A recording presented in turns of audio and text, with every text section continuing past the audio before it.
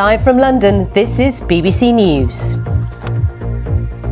Ukraine claims to have made advances in the east as Russia says Kyiv has started a large scale military operation.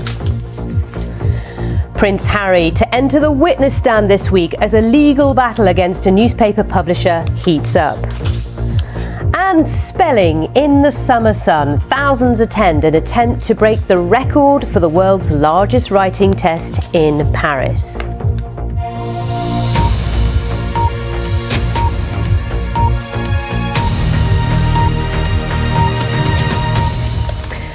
A very warm welcome to the programme. I'm Sally Bundock, and we begin in Ukraine, where the nation's military said it has made two small advances in the east. This comes as Russia's defence ministry says Kyiv has started a large scale military operation, something that is yet to be verified uh, by the BBC.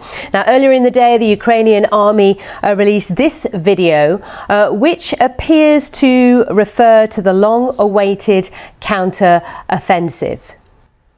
Around the world and across the UK, this is BBC News. Bringing you different stories from across the UK. Picking up rubbish as your. For more stories from across the UK, head to the BBC News website. You're live with BBC News. Now to Hong Kong, where police have detained 23 people for allegedly attempting to mark the anniversary of the Tiananmen Square crackdown. One prominent pro democracy campaigner was taken away by police after carrying flowers. Others were detained for holding unlit candles or wearing yellow clothing. Tens of thousands of people in Hong Kong used to gather every year to mark the anniversary, but laws imposed by China have now made such vigils impossible.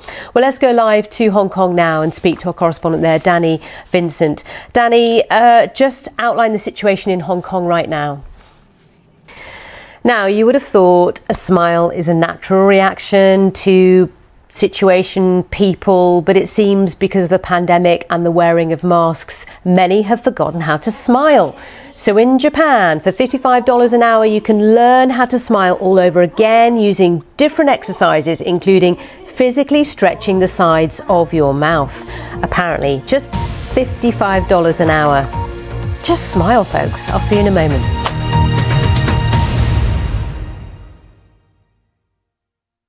Say play BBC News to most smart speakers, and you'll get the latest headlines and in depth reports on international, national, and local stories that matter to you. For your news, when you want it, just say play BBC News.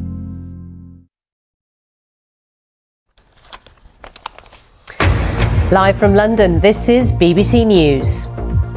Oil prices surge after Saudi Arabia and OPEC group decide to cut production as they look to stabilise falling crude prices. The British Chambers of Commerce sets up a rival business lobby group to the CBI, with the latter facing a crunch vote on its future. The price of war, the ban of Ukrainian grain imports ends in Western Europe today, but there are calls for the ban to be extended as European farmers fight for their livelihoods. And Queen Bee hits the right note again. Beyonce entertained another sellout crowd in London last night, with many predicting her Renaissance World Tour will smash all financial records.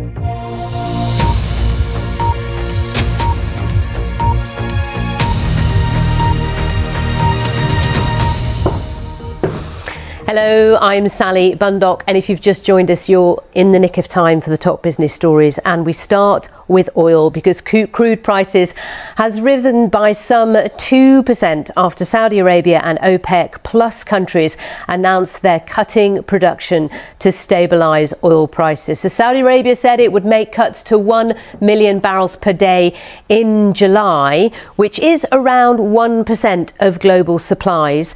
OPEC plus countries, which accounts for around 40% of the world's crude oil, said they'll cut production by some 1.4 million barrels per day from the start of next year.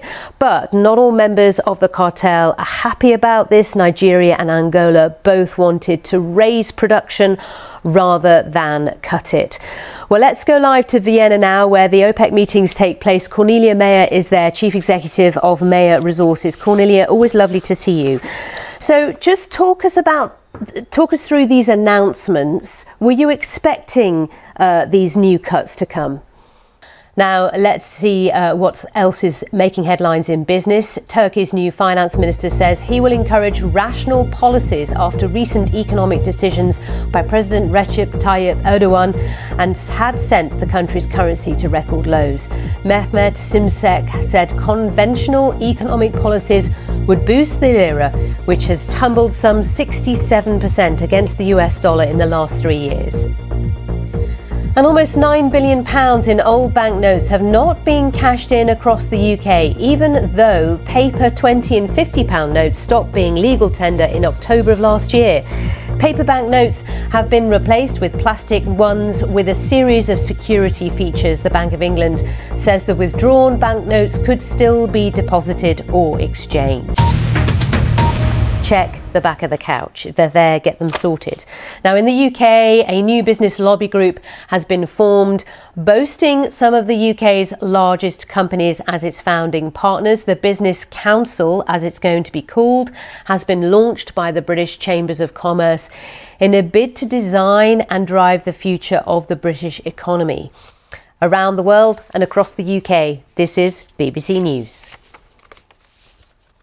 BBC News, bringing you different stories from across the UK.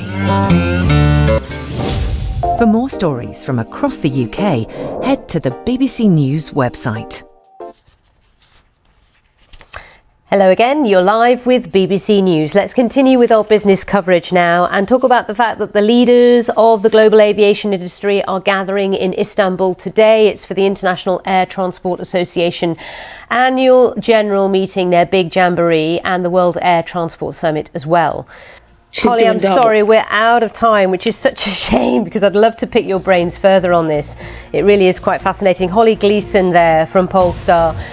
But we are at the end of the programme. Have a lovely day and I'll see you soon.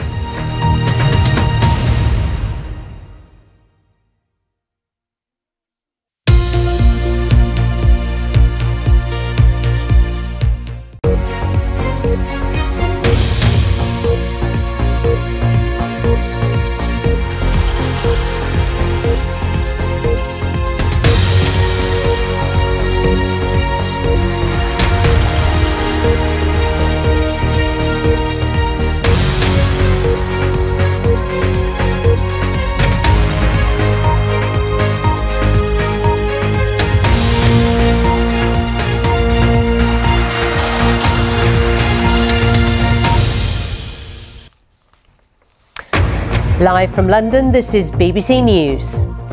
Kyiv claims to have made advances as Russia says it's thwarted a major Ukrainian offensive. Prince Harry to enter the witness stand this week as his legal battle against a newspaper publisher heats up. And these are live pictures coming in from India as movement resumes on a section of its rail network after last week's deadly collision. These are live pictures, as I say, from the scene of the crash. And spelling in the summer sun, thousands attend an attempt to break the record for the world's largest writing test in Paris.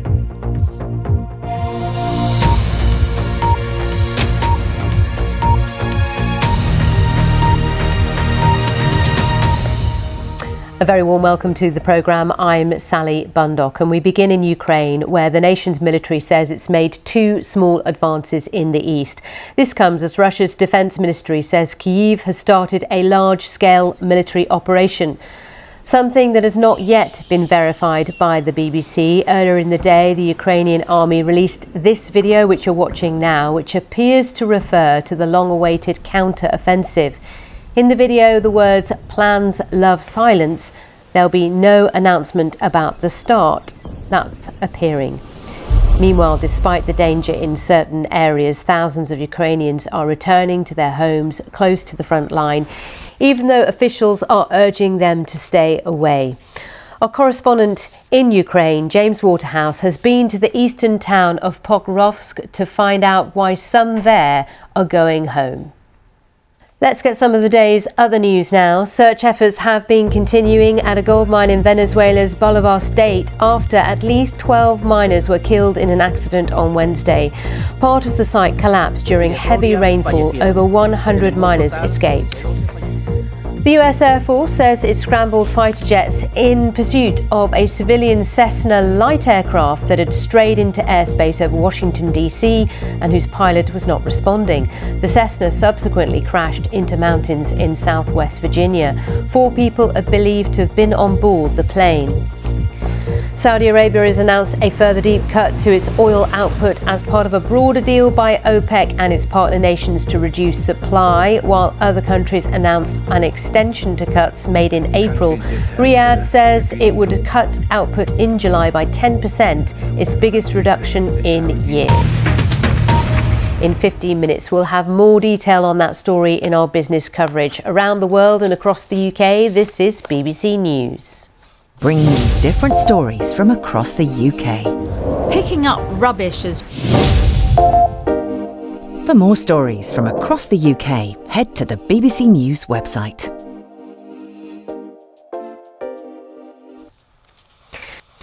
You're live with BBC News. The Board of Governors of the UN's nuclear watchdog, the IAEA, is meeting in Vienna this week with Iran and Ukraine high on the agenda.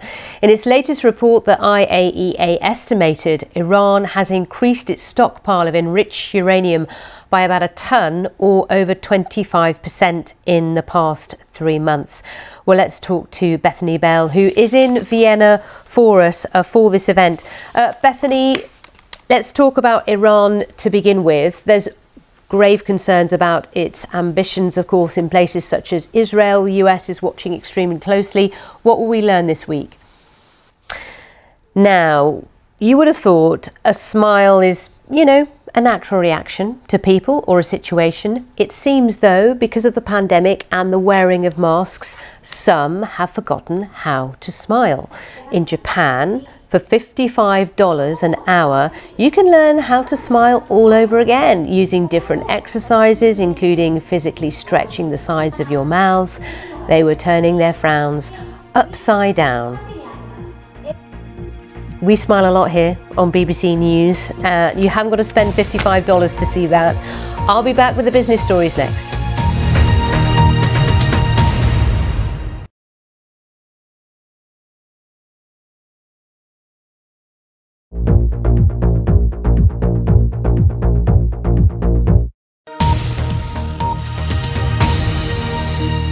Now on BBC News, your daily briefing on business and economics from the world's financial centres. From new broadcasting house in London, World Business Report. Live from London, this is BBC News. Oil prices surge after Saudi Arabia and OPEC Plus group decide to cut production as they look to stabilise falling crude prices. The price of war, the ban on Ukrainian grain imports ends in Western Europe today, but there are calls for the ban to be extended as European farmers fight for their livelihoods. And Queen Bee hits the right note again. Beyonce entertained another sellout crowd in London last night, with many predicting her Renaissance World Tour would smash all financial records.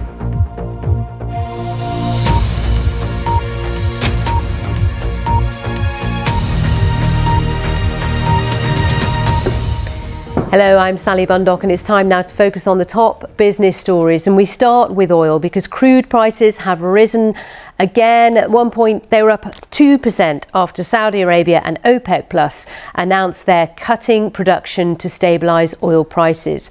Saudi Arabia said it would make cuts of 1 million barrels per day in July, which is around 1% of global supplies. OPEC plus countries, which account for around 40% of the world's crude oil, said that they would cut production by some 1.4 million barrels uh, per day from the start of next year. But not all members of the cartel are happy with Nigeria and Angola both wanting to raise production rather than cut it. I talked to Cornelia Meyer, she's CEO of Meyer Resources and she was in Vienna for the OPEC meeting. She said many were expecting this news from Saudi Arabia. Let's now bring you some other business news.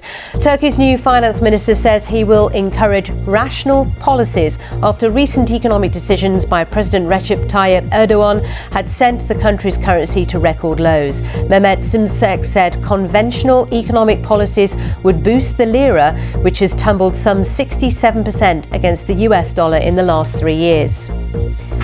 Almost £9 billion in old banknotes have not been cashed in across the UK, even though paper 20 and £50 notes stopped being legal tender in October. Paper banknotes have been replaced with plastic ones with a series of new security features. The Bank of England says the withdrawn banknotes could still be deposited or exchanged. Later today, EU measures banning the impact of uh, import, not impact, banning the import of wheat, maize and sunflower seed from Ukraine are due to expire. The ban covers the import of Ukrainian grain to Bulgaria, Hungary, Poland, Romania and Slovakia. Denis Voznesensky there from Rabobank explaining what's at stake. Of course, we'll keep a close eye on how today develops as far as that story is concerned around the world and across the UK. This is BBC News. You're live with BBC News. Continuing with the business coverage now, leaders of the global aviation industry are gathering in Istanbul today. It's for the International Air Transport Association annual general meeting and the World Air Transport Summit. So, according to IATA, overall global traffic is now less than 10% down on 2019 levels, but issues in the industry remain with how strike actions affecting airlines and millions of passengers Holly Gleeson there talking about Beyonce's tour. Now let's show you online. There are so many more stories that we cover in business that we don't always have time for in this program. So let's just highlight one of them. This news that this man here, you may not know who he is. Well, it's Joe Benarroch. He is a senior exec from NBC Universal. He actually starts today at Twitter. Basically, uh, Elon Musk snapped him up as part of his uh, hiring spree since Elon Musk took control of um, Twitter, as it were. So you can see here Linda Yaccarino there saying, Welcome to the flock. From one bird to the next, let's get to work. So it'd be really interesting to see what he does initiate in terms of what he'll bring to Twitter. So much analysis there, including all the latest other stories we've written about Elon Musk and his uh, escapades. There are plenty of those. And there's lots more news on our website, so do take a look. I'll be back a little later here on BBC News with the top business stories, but from me for now, it's goodbye. I'll see you again soon.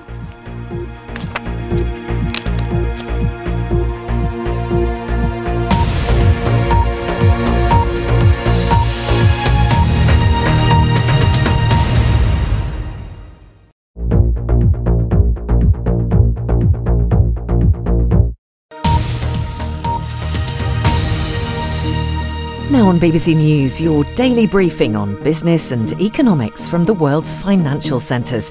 From new broadcasting house in London, World Business Report. Live from London, this is BBC News.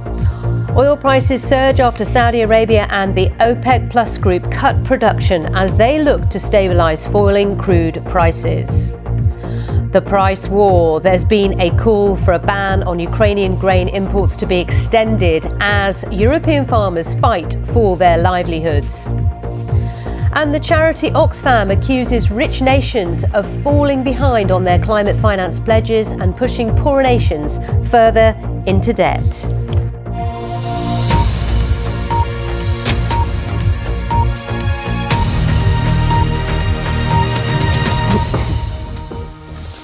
Hello, I'm Sally Bundock with the top business stories. And we start uh, with oil because it's been on the move. It's headed higher, oil prices yet again today, some 2% earlier in the session, after Saudi Arabia and OPEC plus countries announced they would be cutting production to stabilise oil prices. Saudi Arabia said it would make cuts of 1 million barrels per day. That will be kicking in in July, which is around 1% of global supplies. OPEC plus countries, which account for some 40% of the world's crude oil, said they would cut production by 1.4 million barrels per day from the start of next year. But other members of the cartel are not happy. For example, Nigeria and Angola, who both want to raise production rather than cut it. Let's now bring you some other business stories. Turkey's new finance minister says he will encourage rational policies after recent economic decisions by President Recep Tayyip Erdogan had sent the country's currency to record lows. Mehmet Şimşek said con- conventional economic policies would boost the lira, which has tumbled 67% against the US dollar in the past three years. Almost £9 billion in old banknotes have not been cashed in across the UK, even though paper 20 and £50 notes stopped being legal tender in October of last year. Paper banknotes have been replaced with plastic ones with a series of security measures. The Bank of England says the withdrawn banknotes could still be deposited or exchanged. So check the back of the couch. You never know what might be there. Now, rich countries are falling behind on their pledges to tackle climate change, failing to honour their climate finance promises, and putting poorer nations into further debt. OK, uh, Jacopo Ocaran, thank you. Good to talk to you from Oxfam. Thanks, Ella. Thanks, Ella, for having me. Thank you. Around the world and across the UK, this is BBC News. You're live with BBC News, continuing with our business coverage. Now, you may well have heard of virtual reality, I'm sure you have. What about augmented reality? Unlike the digital world of VR, augmented reality blends the real and digital worlds together. It may be about to have its moment in the spotlight because of Apple. It's rumoured to be launching its own AR headset today. Our reporter Ben Derico went to the Augmented World Expo to see what's going on there in the world of AR ahead of Apple's announcement. It's just fascinating. Honestly, it really is. Holly Gleeson there from Pollstar talking us through just the extent of Beyonce's world tour and the reach it's having, the money she's making, etc. So many more business stories on our website. You can see them there. But that's all from me for now. I'll see you again tomorrow. Bye bye.